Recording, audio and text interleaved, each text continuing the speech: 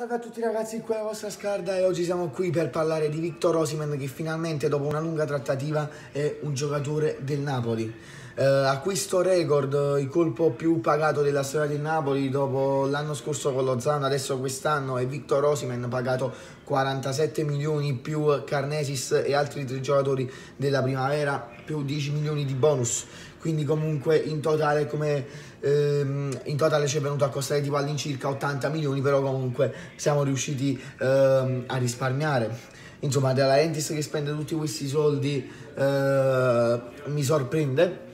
mi sorprende, soprattutto Osimen eh, molti non lo conoscevano, io l'ammetto lo conoscevo grazie a FIFA che, che, è uscito in diverse versioni diciamo eh, su FIFA, è uscito pure Toz Ehm, però sinceramente non, uh, FIFA proprio sta in un altro mondo, quindi chi si basa, chi dice che Osimen è forte perché sta su FIFA, insomma, uh, è un caprone ignorante. Uh, bisogna basarsi sulla realtà, sulla realtà ragazzi Osimen ha fatto comunque 18 gol in 38 partite. Uh, i gol li fa uh, c'è da considerare che comunque il campionato italiano è un'altra cosa. Lui, ehm, lui, stava comunque eh, nel campionato francese che sembra essere un po' più facile, eh, però c'è da dire che Lille l'ha acquistato 10 milioni, comunque ha fatto un salto di qualità, un enorme salto di qualità, un ragazzo che si impegna a 21 anni, giovanissimo e, eh, e, quindi io spero che comunque con Napoli possa far vedere gran belle, gran belle cose. Giunto lì lo sappiamo tutti, è un grandissimo, eh, cioè non sbaglia un colpo, li, eh, le azzecca tutti e quindi per far pagare così tanto Osimen ci sarà sicuramente un, uh, un, motivo. Ovviamente sarà il campo a parlare, però ragazzi uh, io sono contentissimo uh, perché abbiamo rimpiazzato un giocatore che ormai era,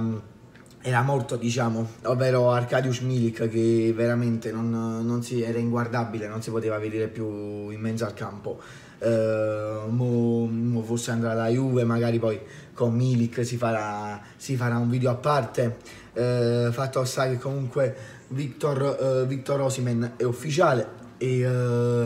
e niente, io spero veramente eh, perché non posso esprimermi più di tanto in questo video perché comunque ehm, molt, come molti di loro non lo, conosco, non lo conosco proprio bene, so solo alcuni dati che vi ho detto, comunque i gol.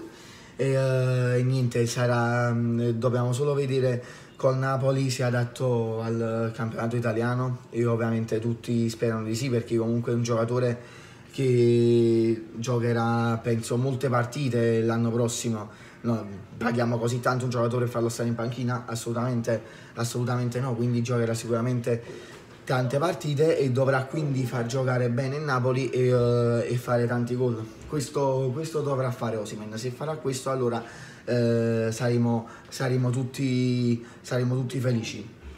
Uh, e comunque i nigeriani lo paragonano a Drogba, ma addirittura paragonano a Drogba, non lo so, uh, potrebbe arrivare ai livelli di Drogba, uh, non si può mai sapere nel calcio, un giocatore può esplodere, può fare un salto di qualità e diventare un, uno dei più forti, ma magari, magari diventasse a livelli di Drogba ci farebbe ci farebbe vincere tutto. Vi ricordo che comunque Drogba mh, ha, ha, fatto vincere la Champions al Chelsea nel 2012 e, e, quindi spero che questi nigeriani ne capiscano un po' di calcio perché se fosse così sarebbe una cosa eccezionale. E quindi ragazzi il video di oggi termina qui, iscrivetevi al canale, attivate la campanellina, condividete, mettete like, commentate, noi ci ribecchiamo a prestissimo con un nuovo video, penso proprio stasera, post partita